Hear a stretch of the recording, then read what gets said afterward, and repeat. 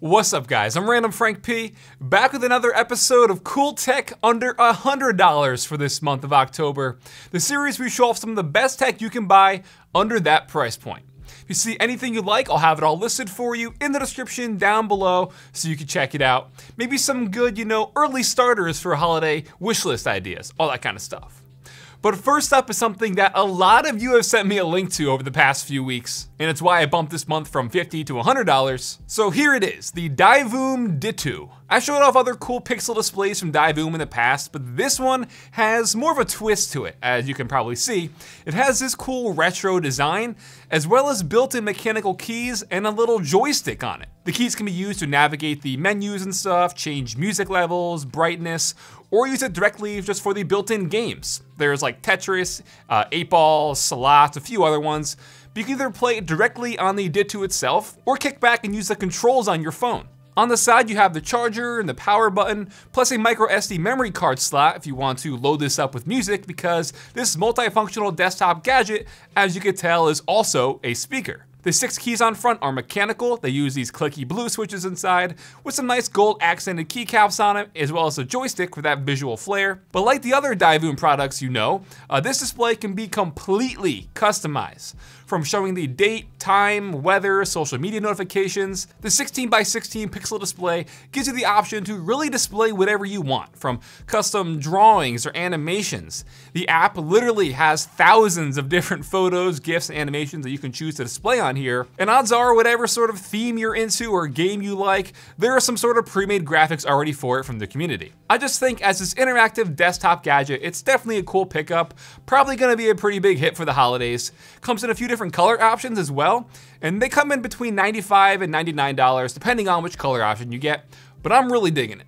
Next is a really cool and compact phone gimbal and stabilizer that easily fits in your pocket as you can see. It has built-in controls, gestures, face tracking, and acts as this extending selfie stick to get some extra depth and separation if you're gonna be vlogging. So, vloggers or TikTokers out there, you'll definitely enjoy this one. It's the Smooth X, and it comes in gray or white color options for just $50. All you do is put your phone in the holder, you power it on and pair it over Bluetooth to their app, then right away you have full control of your phone for taking really smooth and stabilized video, extra wide selfies, portrait or landscape orientation, all literally in the grip of your hand. Now what I really like is the way they have it designed with the added flexibility because the head of the gimbal itself can digitally pan 300 degrees and 285 degrees vertically, but the head you can also manually tilt so it's more level with you if you want to kind of frame your shot better. So again, with something like this, it's just a better way of getting really smooth, stabilized shots that's gonna cut down on the shake and jitteriness if you're walking around, vlogging. And to show you a quick example of the stabilizing, it does a really solid job for the price. So like I said earlier, it comes in at $50, or you can spend an extra 10 bucks like I did and get their bundle with a carrying case and a tripod base. The tripod would not only act as like an additional handle if you want, but it'll let you set this down if you want to get some cool panorama shots, or if you just want to set it down and have it film you without tipping over. All right, so obviously if you're gonna be vlogging and stuff for like, you know, the holidays coming up, whatever, and you want a stabilizer that is also on this like extension pole to gain some depth and separation for the price. This is really, really good, and it's doing a good job of keeping it all stabilized right in front of me. All right, so next up we have the Cooler Master control pad. This might look familiar. They've sort of showed this and teased it over two years ago. CES 2019, I did a video on this and showed it off at their booth, and it's finally here like just came out. This is an analog control pad pretty much with their aimpad technology. And if you're not really sure what an analog gamepad really means, it all depends on the pressure. So if you press down hard on a switch, it'll reflect how fast you move in game. So if you move lighter, you'll slowly creep in game. Press it down all the way, you'll go full speed. This obviously gonna be really helpful depending on what games you play. Something like super hot or racing games, you could definitely take advantage of having that manual control instead of just a traditional key switch where you press it down and in game you go one speed. So the control pad itself is made really nicely, brushed aluminum finish, a detachable magnetic wrist rest for it as well. It has 24 keys, full built-in RGB lighting underneath, plus those two dials up top. Those are what I really, really like.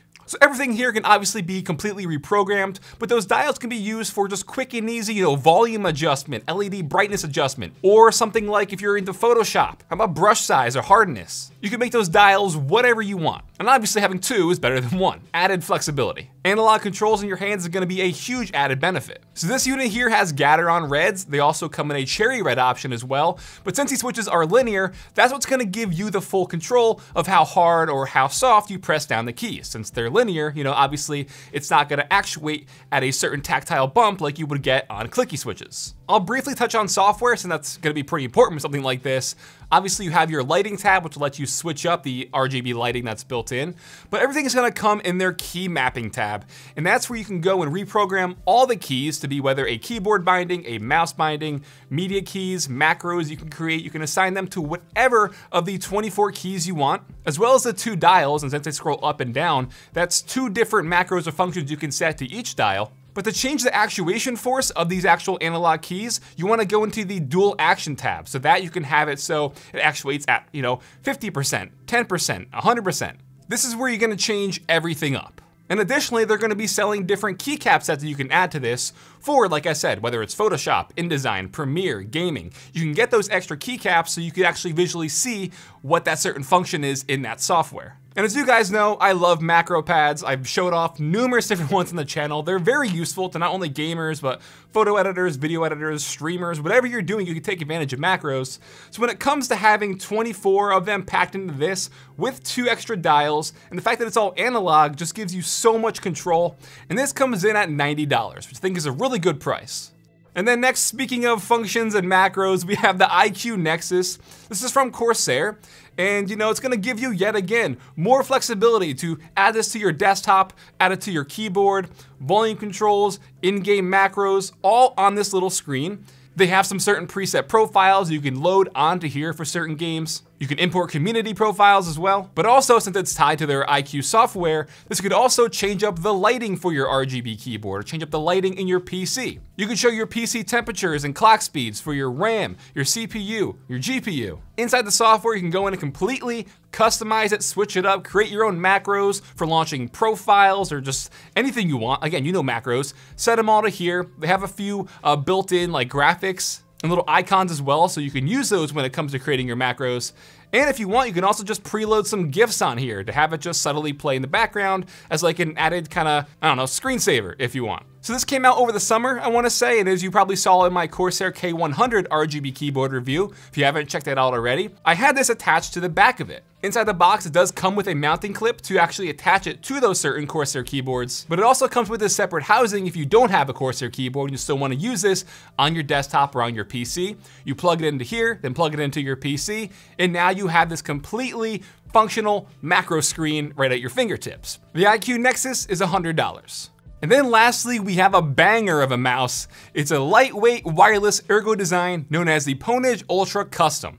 And yes, I did just drop a full in-depth review yesterday on the channel, so if you wanna know more in detail about it, definitely check that out. This will just be a quick rundown, but I definitely wanted to include it in this episode as well, because it is under $100. So the Ultra Custom comes in both black and white color options, but what's really cool is, as the name implies, Ultra Custom, they include opposite colored shells inside the box, as well as different shell covers. So if you wanna go lightweight honeycomb, you can do that. If you prefer a solid top shell and you hate honeycomb, you can do that as well. But it just gives you that option now to customize it and switch up the look right to your liking. But where it gets interesting is Pwnage also sells nine other colored shell options on their website. So you can pick up, you know, additional shells if you really wanna get into color coordinating to your setup, or a certain aesthetic that you may have going on on. Swapping shells is really easy as well. They're just held in by these small magnets and clips.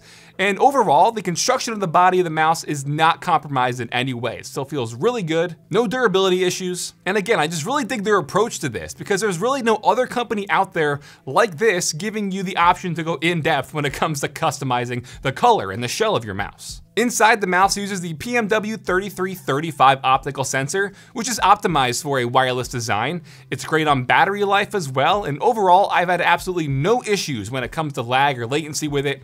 Gaming has been great.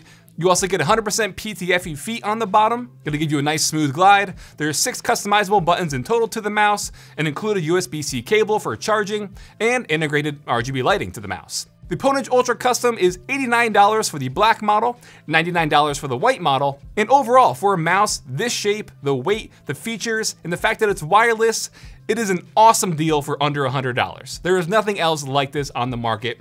I loved it. Definitely check out my full review if you're interested. So, all right, guys, that'll wrap it up for this episode of Cool Tech under $100 for October. Hope you enjoyed. Again, if you want to check anything out, we'll have it all listed for you in the description down below. If you did like this episode, give it a big thumbs up to show your support. Feel free to follow me on Twitter at RandomFrankP. And last, if you haven't already, hit that subscribe button. I hope you all enjoyed. Have a good day.